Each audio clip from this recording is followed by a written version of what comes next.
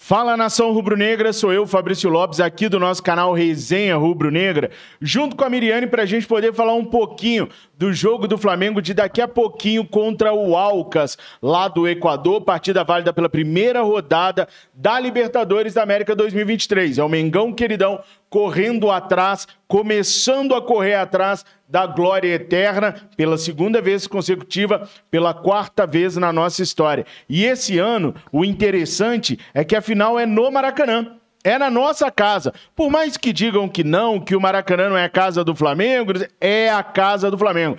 Quem dita, quem dá as ordens, quem dita as cartas no Maracanã é o Mengão Queridão. A gente já teve uma final de Libertadores lá, foi Santos e Palmeiras. Dessa vez, o Mengão queridão vai estar tá lá, né, Mirinha? Se Deus quiser, né, gente? Boa tarde para todo mundo. A gente espera, porque é aquele momento que a gente espera. Imagina o Flamengo campeão da Libertadores dentro do Maracanã. Não, não vai ter espaço. O ingresso vai ser esgotado com um mês antes, né? E não tenho dúvida disso. Só para você ter uma ideia, no dia 13 o Flamengo vai jogar lá no Paraná contra o Maringá pela Copa do Brasil. Uhum. Em 20 minutos esgotou todos os ingressos do Mengão Queridão. Bastaram 20 minutos dos ingressos para ele se esgotar. Acabou. É. Não a tem mais ingresso. né, do pessoal que mora lá é Flamengo e conseguir assistir o Flamengo. Então, e você sabe, você sabe que eu conheço muitas pessoas do Paraná, trabalhei com muitas delas lá no Rio Grande do Sul, o pessoal descia para trabalhar lá e muitas são rubro-negras. Porque tem esse negócio de Atletiba. Ah, não, eu torço pro Atletiba, eu torço pro Atlético, eu torço pro Curitiba, eu torço pro Paraná. Muita gente torce pro Mengão, queridão, Nossa. lá no Paraná, lá no sul do país. Tem Santa Catarina também ali perto, né? que pode ir muita gente. Nos comentários dos vídeos, eu vi muita gente falando que é a oportunidade, né, de estar tá vendo o Flamengo de pertinho, porque muita gente não tem condições de ficar vindo para o Rio de Janeiro, mora lá, trabalho, né? Fica... Aí tem que aproveitar quando aí, o time é, passa aí lá. aproveita quando tá lá. Então, tenho certeza que o carinho vai ser enorme quando o clube chegar lá. No, Com certeza. No e olha, Paraná. daqui a pouquinho, às 17 horas, eu e a Miriane vamos estar ao vivo lá no Verdade Vermelho e Preto, fazendo o pré-jogo de Alcas e Flamengo. Essa estreia do Mengão Queridão na Libertadores da América. A Libertadores que começou já com algumas zebras. Eu, eu nem considero zebra a vitória do The Strongest para cima do River Plate. Porque no sorteio eu falava com vocês que eu só não queria pegar o The Strongest e o Bolívar. Qualquer outra equipe estava de boa para mim, só essas duas que eu não queria pegar, por causa da altitude 3.600 metros de La Paz é complicado, é difícil, é impossível você se preparar para 3.600 metros. Para você conseguir se adaptar a 3.600 metros, você tem que ir um mês antes e ficar lá, fazer a climatização lá, aí você vai começar a se adaptar. Mesmo assim, você jamais vai conseguir ficar no mesmo nível de quem, de quem tá mora lá, é, de verdade. quem vive desde pequeno lá. O que me surpreendeu foi essa pecada de três gols, né? Porque o River perder ali de 1 a 0, 2 a 1, pela altitude era explicável. Agora, três que chinelada que o River Plate tomou lá, já né? Começou mal, né? E aí você viu a internet? A internet já começou a falar que Flamengo e Palmeiras são disparados os Favorito. protagonistas, os favoritos dessa Libertadores de novo, porque se esperava muito do River Plate, que deu uma renovada no elenco, apesar de ter trago velhos nomes conhecidos, como o Nacho Fernandes, manteve o Nicolás de la Cruz, mas deu uma renovada no elenco. Então se esperava um pouco mais do River Plate. Todo mundo falava num favoritismo do River Plate para essa Libertadores. Bastou uma chinelada. Mas eu acho que ainda tá cedo, né? Eu, eu acho que tá eu muito acho que tá cedo. muito cedo, principalmente no jogo de altitude. Eu acho que tá muito cedo você descartar o River Plate. Com né? certeza, eu nunca se descarta não, o River Plate. É, eu acho que tá bem precoce aí falar que é só Palmeiras e Flamengo. Também acho, até porque a gente precisa ver o que o Palmeiras vai enfrentar hoje, que o Palmeiras enfrenta outro time de La Paz, o Bolívar. De repente a gente está assustado com um 3 a 1 do River e o Palmeiras vai tomar uns 4 lá. É. Né? Palmeiras não Por... tem essas coisas todas não, né? E gente? a altitude é problemática. E tem mais um detalhe há a possibilidade do Abel Ferreira colocar um time reserva contra o Bolívar hoje, para dar uma segurada na equipe, porque o Água Benta deu trabalho lá. O Água Benta ganhou do Palmeiras. O Água Benta pode ser campeão paulista esse final de semana. Então, o time, o Abel Braga pode segurar a equipe titular do Palmeiras para jogar no final de semana contra o Água Benta. Água Santa, né? Amor? Mas Água Santa é o quê? Não é benzida? Então é Água Benta, ué. Não, mas Não é vou não? colocar o nome deles, ó, Água Santa, coitados. Agora que eles estão lá ali no destaque, você vai mudar o nome do time. Ué, Água Santa é né? porque foi benzida, então é, É. Água Benta. Mas Uma enfim, água batizada aí que o Palmeiras teve que tomar, teve que engolir, não desceu redonda. Vai ter problema esse Palmeiras. Vamos ver o que, que vai acontecer hoje a 3.600 metros, né? Lá na, em La Paz. E vamos ver o que, que o Flamengo vai Também. fazer a 2.600 também. Porque a, a- o Flamengo, historicamente, tem problemas com a altitude. O Felipe Luiz falou que haviam discussões muito grandes entre ele, Jorge, entre o grupo e o Jorge Jesus, para saber qual era a melhor metodologia para se jogar na altitude, porque na Europa não tem altitude. É. Ninguém joga na Europa na altitude. Rafinha nunca tinha jogado na altitude. Pablo Mari nunca tinha jogado na altitude. Jorge Jesus nunca tinha jogado na altitude. Felipe Luiz nunca tinha jogado na altitude. Uma penca de jogadores daquela época que vieram da Europa nem sabia o que, que era jogar na altitude. Mas olha, gente, a Miriane tem algumas informações que ela anotou aqui sobre esse jogo de hoje contra o Alcas, que ela vai passar para vocês que eu acho muito interessante. Vai lá, Miriane. Então, gente, a gente pode falar que o time do Alcas é um time fraco, né? Porque a gente ainda não viu jogar.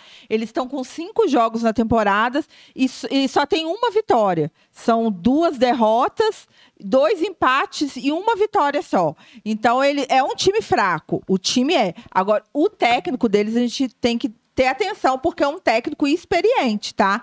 É um técnico muito bom. Ele já dirigiu a seleção da Bolívia duas vezes, já foi técnico de duas, por duas oportunidades da, Da seleção, seleção, né? é, da seleção da Bolívia. E ele conquistou. é, deixa eu ver aqui, gente. O quarto lugar da Copa América com o time da Venezuela. Você imagina, é o melhor resultado que a Venezuela já, já teve numa Copa América foi com esse técnico. Foi um quarto lugar. E ele chegou às oitavas, de, às quartas de finais com o Deportivo Tátira. É Tátira, né? Isso mesmo, então é um, é um treinador assim, que tá acostumado Tá com jogo acostumado, grande, é. com competição grande, né? É, ele foi eliminado pelo São Paulo nas quartas de final. Em 2011, ele chegou às quartas de finais com o Deportivo Tátira. Você imagina. Então, assim, o time do Alcas não tem costume de grandes competições. É. Em 78 anos de história, é a primeira participação deles na Libertadores da América, porque ganharam pela primeira vez no ano passado o campeonato equatoriano. Mas o treinador César Farias tem experiência. E os caras contrataram oito jogadores, Isso, né? O diretor de esporte deles, né? O diretor esportivo deles,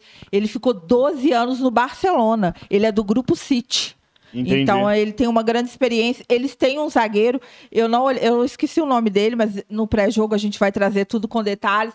Ele é da seleção do Trinidad Tobago. Eles contrataram o Otero. O Otero a gente sabe que é muito bom Ah, mas na bola desculpar, mas um parada. zagueiro do Trindade Tobago também, eu vou te contar, não, não né? sei, amor, é da eu prefiro, seleção. É da eu prefiro, seleção, eu prefiro o menino melhor. sub-14 do Flamengo do Mas que um é cara da do Trindade Tobago. amor, é da seleção. o futebol da sele- Tobago? A seleção sei. Trindade e Tobago, é, é- o goleiro é marceneiro, o lateral direito é serralheiro, o, o- o zagueiro é engenheiro, o outro zagueiro é estudante de medicina. Trinidade e Tobago. Não, mas não sei, é, assim, destacaram muito isso, que se- tem um zagueiro da seleção do Trinidad e Tobago.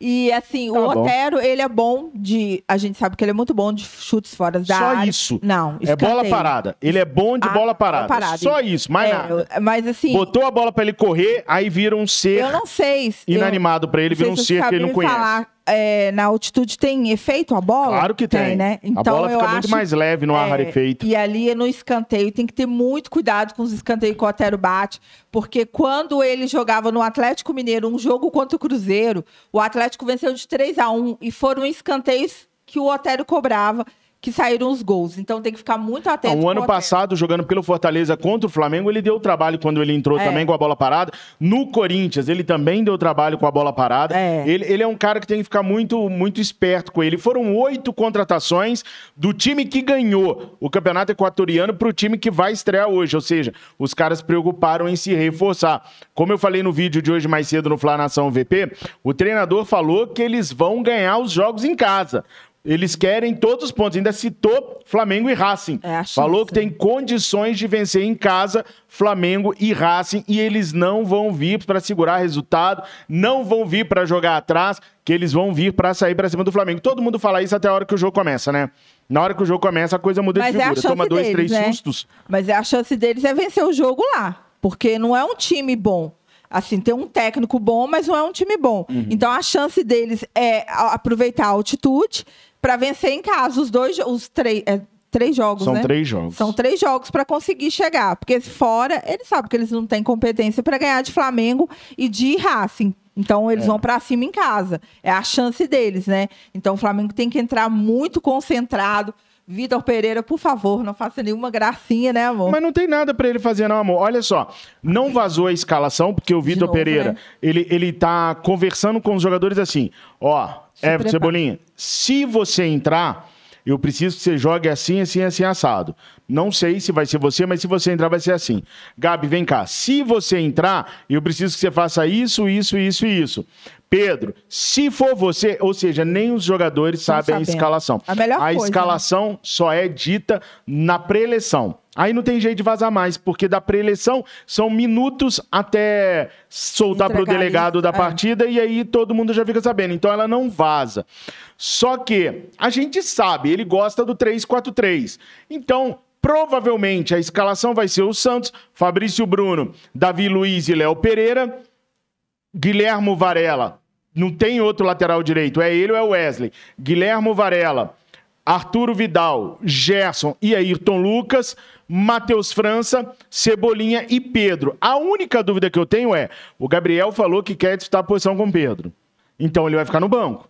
É. Porque ele joga com três na frente. Né? Então, o Matheus França na direita, o Cebolinha na esquerda e Pedro. o Pedro como ponta lá. Ponta, assim, o ponteiro do, do, do, dos três, né? Centroavante lá na frente. Então, não vai fugir muito disso. A menos que o Gabriel resolva, não. Eu, eu quebro o galho e eu jogo ali do ladinho.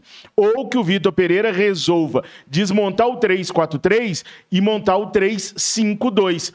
Que aí o que, que ele faz? Ele tira o Cebolinha, bota o Matheus França como ponteiro do meio de campo, é, a, a, é, Arthur Vidal na esquerda, Gerson na direita, Matheus França no meio dos dois mais à frente. E lá na frente, Pedro e Gabigol, como eles jogavam com o Dorival Júnior. Aí acaba. Sonho todos os problemas que eu tenho visto hoje aí. Ele joga com os três zagueiros, que ele acha que é o que dá sustentabilidade para ele, joga com dois volantes que se transformam em meias muitas vezes, Vidal e Gerson, com o Matheus França mais à frente, Pedro e Gabigol enfiados lá no ataque, primeiro e segundo atacantes.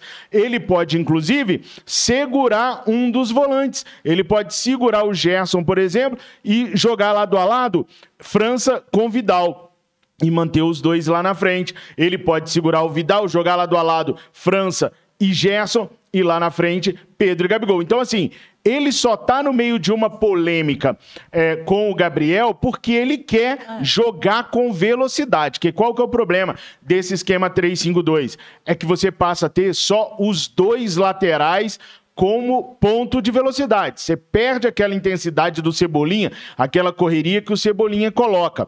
Então, como o Vitor Pereira gosta mais da velocidade, da intensidade do que do toque de bola, o problema do Gabriel tá aí. Porque ele podia muito, muito bem montar um 3-5-2 e aproveitar o Gabriel lá na frente, sacando o Cebolinha. O Cebolinha nunca foi titular mesmo, né? Eu adoraria essa escalação. Pedro e Gabigol. É Nossa, uma possibilidade. Um de, de, escalação. É uma possibilidade. Até porque, quando o Arrasca voltar, essa posição que eu tô falando num 3-5-2 é uma posição legal para o Arrasca jogar do meio para a esquerda, o Gerson do meio para a direita, e aí o Thiago Maia voltando, ele vira aquele volante aqui atrás.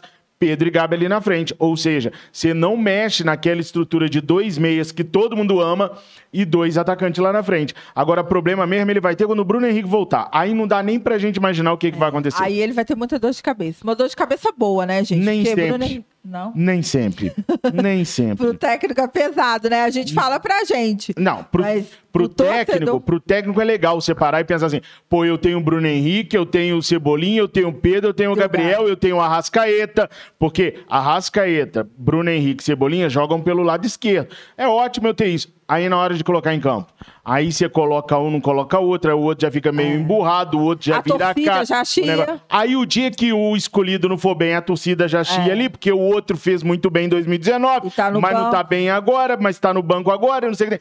Então, assim, é uma dor de cabeça que nem sempre é tão boa assim, mas é melhor ter essa do que ter a dor de cabeça de não ter ninguém. De não ter ninguém para colocar, é verdade. Não, mas eu adoraria essa escalação com o Bruno, com Pedro e Gabigol lá na frente. Quem Pra sabe mim, ele monta um 352 não, hoje, né? uma surpresa, Vai né? que ele assiste o nosso vídeo, pensa, ó, não é que teve uma ideia Isso, legal? Vitor Pereira, assiste esse vídeo, gente. Manda pro Vitor Pereira esse vídeo pra ele colocar isso aí na cabeça dele e ir com Pedro e Gabigol, porque eu acho que ia ser tudo. Acho que todo mundo. Ah, não sei se faz alegria de todo mundo, porque. Faz. Será? Faz. Ah, E não sei, tem Até, muita ó, gente que não- tem muita gente que critica o Gabriel. Fala que ele perde Eu fiquei olhando essa semana.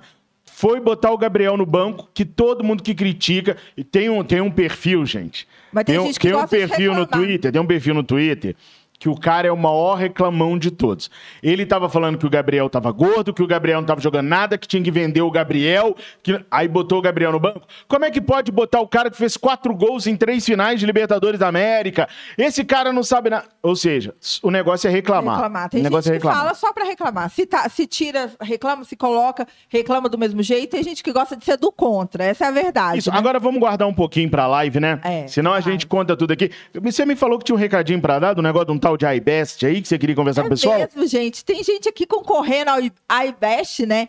Então, bora votar no iBest, porque a gente tá precisa passar para a próxima fase, né, amor? Então, vota bastante aí, porque a gente precisa. é... E como é que faz pra votar? é só clicar no link, você vai deixar aqui, né? Sempre. Vai Mas deixar o link aqui para vocês. Pode votar um voto por dia. Então, se você votou hoje, lembre de votar amanhã, por favor, no outro dia também, porque a gente precisa dessa sequência aí, porque a gente está lá entre os 10, mas a gente precisa se manter, porque daqui a pouco chega aí, chega gente, chega gente, e a gente não consegue se manter lá. Então, vota no iBest, Fabrício conseguir passar para a próxima fase. É isso aí, nação. Bom, curte, compartilha e comenta. Não estou convidando, estou intimando vocês para às 17 horas estarem junto comigo e com a Miriane lá no Verdade Vermelho e Preto para a gente falar muito sobre a estreia do Flamengo na Libertadores da América. Tamo juntos, nação. Fiquem com Deus. Saudações rubro-negras!